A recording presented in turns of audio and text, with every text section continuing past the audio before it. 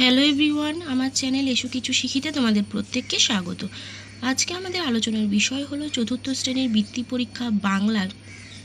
আমরা এর আগে একটা ভিডিওতে আমরা কিন্তু তিন নম্বর অবধি আলোচনা করেছিলাম। তো আজকের ভিডিওতে আমরা চারের দাগ থেকে আলোচনা করব। যারা চ্যানেলে নতুন, অবশ্যই কিন্তু চ্যানেলটিকে সাবস্ক্রাইব করে নোটিফিকেশানটা অল করে রাখবে যাতে রোজকার ভিডিওগুলো তোমরা দেখতে পারো। ভিডিওটা ভালো লাগলে অবশ্যই একটা লাইক করবে।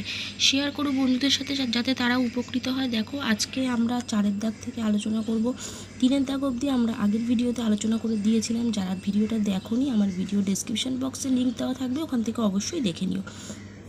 দাগ থেকে তাহলে আলোচনা করছি। আলোচনার বিষয় হলো চতুর্থ শ্রেণির বৃত্তি পরীক্ষা বাংলা দু হাজার বাইশ কোশ্চেন পেপার দেখো চারের দাগে কী বলছে? যে কোনো চারটি প্রশ্নের উত্তর দাও, চার নাম্বার করে চারটে প্রশ্ন করতে হবে, ষোলো নাম্বার আছে। ফার্স্ট কোশ্চেন কী দিয়েছে? বিশ্বজোড়া পাঠশালা মোড়, কোন কবিতার অংশ, পাঠশালা কথার অর্থ কী? কবি দিবারাত্র কী শিখতে চান? তো চলো আমরা উত্তরগুলো দেখে নিই।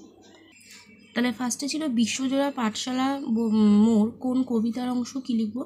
বিশ্বজোড়া পাঠশালা মোড় উদ্ধৃত অংশটি সুনির্মল বসুর লেখা, সবার আমি ছাত্র কবিতার অংশ। এবার বলেছে, পাঠশালা কথার অর্থ কী? উত্তর লিখব, পাঠশালা কথার অর্থ হলো বিদ্যালয়। তারপর দিয়েছে, দেখো, কবি দিবারাত্র কী শিখতে চান? লিখব, কবি দিবারাত্র প্রকৃতির কাছে নতুন নতুন জিনিস শিখতে চান। নেক্সট প্রশ্নে চলে আসব আমরা কি আছে? ইচ্ছে করে আমি হতিম যদি বাবুদের ওই ফুল বাগানের মালি কোন কবিতার অংশ আমি কে তার আর কি হতে ইচ্ছে জাগে? দেখো, ইচ্ছে করে আমি হতিম যদি বাবুদের ওই ফুল বাগানের মালি উদ্ধৃত অংশটি রবীন্দ্রনাথ ঠাকুরের লেখা বিচিত্র স্বাদ কবিতার অংশ। আমি কে উদ্ধৃত অংশের আমি হলেন কবি রবীন্দ্রনাথ ঠাকুর নিজেই। তার আর কি হতে ইচ্ছে জাগে?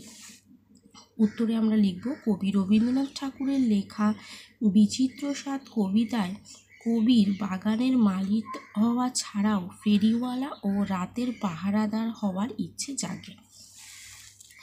নেক্সট কোশ্চেন চেয়ে নেব একটি শুধু বর, কোন কবিতার অংশ? বর শব্দের অর্থ কী? কবি কার কাছ থেকে কিসের বর চেয়ে নিতে চান? দেখো, চেয়ে নেব একটি শুধু বর উদ্ধৃত অংশটি, মালগাড়ি কবিতার অংশ।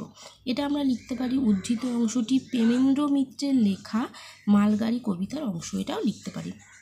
এটা লিখলেই বেস্ট হবে। ঠিক আছে, তারপরে বলেছে বর শব্দের অর্থ কী? দেখো, লিখব, বর শব্দের অর্থ কোনো দেবতা বা মহৎ ব্যক্তির কাছ থেকে আশীর্বাদ প্রাপ্ত কোনো বস্তু। তারপরে দিয়েছিল কবি, কার কাছ থেকে কী বর চার। তো উত্তরে লিখব কবি প্রেমেন্দ্র মিত্রের লেখা মালগাড়ি কবিতায় কবি তার জন্মদিনের দিনে ফুলপরিদের কাছ থেকে মালগাড়ি হওয়ার বর চেয়ে নিতে চান। নেক্সট কোশ্চেন বনভোজনে মিলেছে আজ দুষ্টু কটি মেয়ে। মেয়ে কটির নাম কি কি? তারা কি কি সঙ্গে এনেছে? দেখো, বনভোজনে মিলেছে আজ দুষ্টু কটি মেয়ে। কবি গোলাম মোস্তাফার লেখা বনভোজন কবিতায় যে কটি মেয়েদের নাম উল্লেখ আছে তারা হলো নুরু, পুষি, আয়শা ও সফি। তারা কি কি সঙ্গে এনেছে? উত্তর লিখব। তাদের মধ্যে বনভোজনের জন্য কেউ এনেছে আঁচল ভরে আমের গুটি, নারকেলের মালার হাড়ি, কেউ এনেছে চৈত পুজোতে কেনা রঙিন খুঁড়ি, আবার কেউ এনেছে ছোট্ট বটি আর কেউ এনেছে ছুরি। নেক্সট বলেছে, আমি সাগর পাড়ি দেব, আমি সওদাগর। কার লেখা, কোন কবিতার অংশ? সওদাগর কথার অর্থ কী? কবি কতগুলো সাগর পাড়ি দিতে চান? তাহলে দেখো, কার লেখা? তো আমি সাগর পাড়ি দেব, আমি সওদাগর। উদ্ধৃত অংশটি কাজী নজরুল ইসলামের লেখা। কোন কবিতার অংশ? উদ্ধৃত অংশটি, আমি সাগর পাড়ি দেব কবিতার অংশ।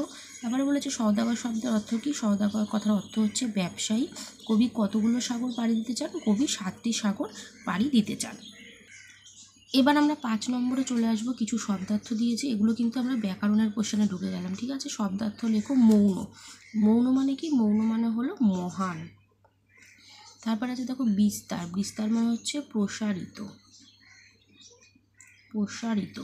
বাগিচা। বাগিচা মানে কি? বাগান। তারপর আছে নজরানা নজরানা মানে উপঢৌকন, উপ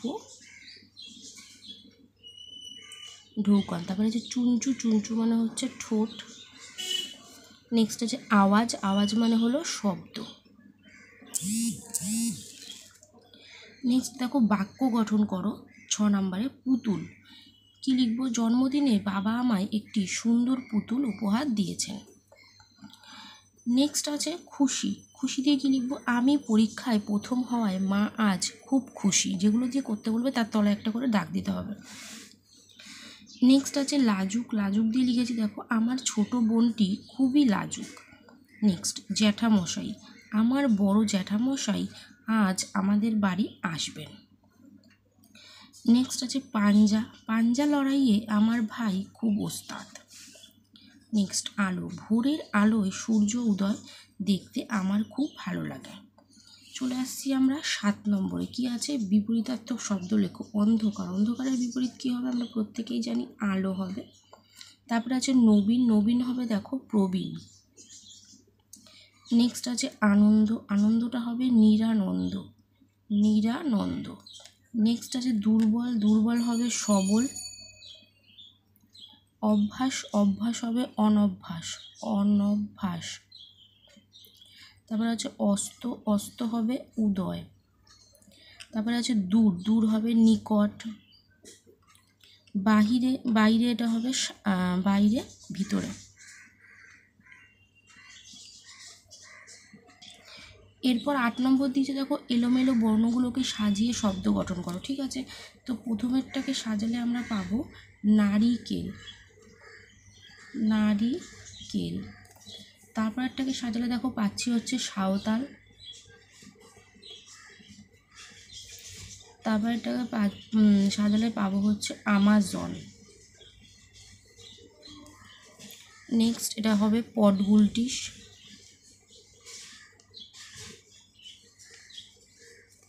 নেক্সট হবে গুরু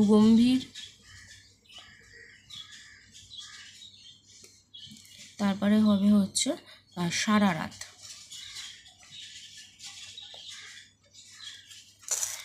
নেক্সট ন নম্বর আছে, লিঙ্গ পরিবর্তন করা আছে, ঠিক আছে? শিক্ষক, শিক্ষকের লিঙ্গ পরিবর্তন করলে হবে শিক্ষিকা,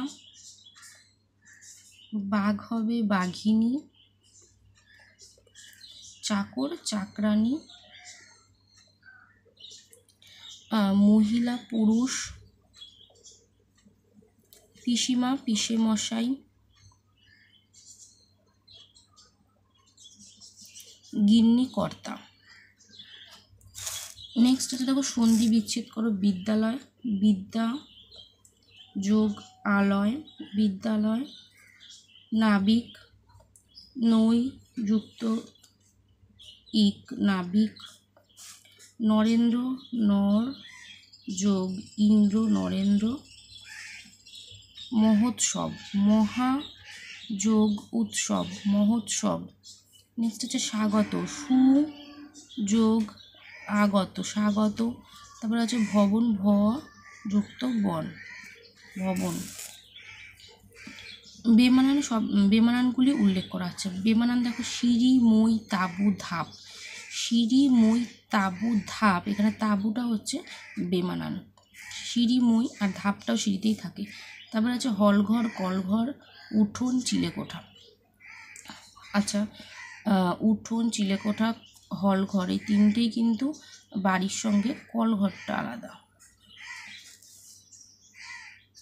তারপরে দেখো দিয়েছে ঘুটে, উনুন, কামান, রান্নাঘর। রান্নাঘর, উনুন, ঘুটে তিনটে এক, কামানটা আলাদা।